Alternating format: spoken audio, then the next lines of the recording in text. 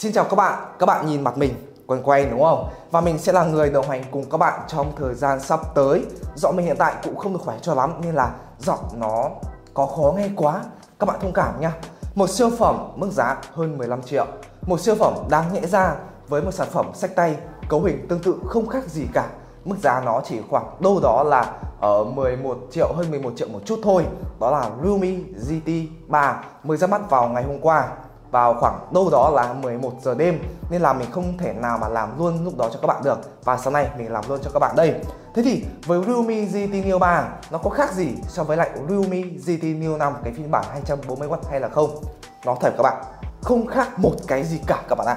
Nên là về những thông số kỹ thuật này, ví dụ như là Snap 8 Plus Gen 1 rồi là chúng ta có cái giải đèn LED RGB ở phía sau, giống hệt Realme GT Neo 5 và một cái nữa là về liên quan đến màu sắc. Hiện tại với Rumi GT Neo 3 Chúng ta chỉ có hai cái phiên bản màu sắc duy nhất là màu đen và màu trắng thôi rất tiếc là chúng ta không có cái phiên bản màu tím các bạn nha. Ngoài ra thiết kế mặt lưng là mặt lưng kính AG với độ cong nó rơi vào khoảng 54,2 độ. Nhìn chung các cổng sạc, loa, cổng hồng ngoại rồi là phím tăng giảm âm lượng y xì nhau. Và trong cái buổi ra mắt Realme GT3 họ cũng có giới thiệu về cái công suất sạc 240W có mặt trên Realme GT Neo 5 rồi. Cụ thể thì sạc đầy 100% pin với GT3 sẽ mất khoảng 9 phút 30 giây.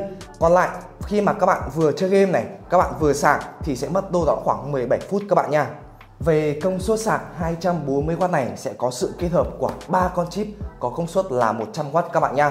Với cái mức độ hiệu quả nó lên đến 98,5%. Bên cạnh đó, Realme cũng có tích hợp công nghệ AI Charge để hỗ trợ cái việc sạc nó được dễ dàng hơn. Ví dụ các bạn đi ngủ này, ví dụ các bạn đi xe hay là làm một cái việc gì đấy, nó sẽ tự biết cách điều chỉnh làm sao cho nó phù hợp với cái hoàn cảnh, cái điều kiện mà các bạn đang sử dụng. Rồi, thế thì về cái mức giá cái phiên bản 240W và dung lượng pin là 4600 là bao nhiêu? Như mình chia sẻ ở đầu video ấy là khoảng hơn 15 triệu, cụ thể 649 đô tương đương với lại 15,5 triệu đồng cao hơn tương đối so với Realme GT2 mới ra mắt nó khoảng 9 triệu 8 thôi. Bây giờ một phát lên 15,5 triệu. Thì các bạn cảm thấy sao? Nhưng cái vấn đề mình không phải bàn chính là con Realme GT3 cái vấn đề mình muốn chia sẻ với các bạn và muốn bình luận cùng các bạn trong video ngày hôm nay là về công suất sạc 240W và gần đây một sản phẩm của Xiaomi thương hiệu con của Xiaomi là Redmi có demo một chút về cái công suất sạc là 300W cái dung lượng pin là 4000 nó chỉ mất khoảng 5 phút là sạc đầy 100% pin thôi. Trong khi với Realme GT Neo 5 cái phiên bản sách tay của Realme GT 3 ấy, bọn mình có test thử với cái công suất sạc 240W sạc đầy 100% pin.